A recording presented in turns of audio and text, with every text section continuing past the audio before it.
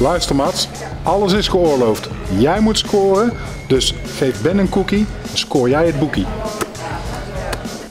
Ben, niet allemaal dingen zelf verzinnen. Gewoon naar mij luisteren en dan komt het goed. Focus, naar voren denken en scoren.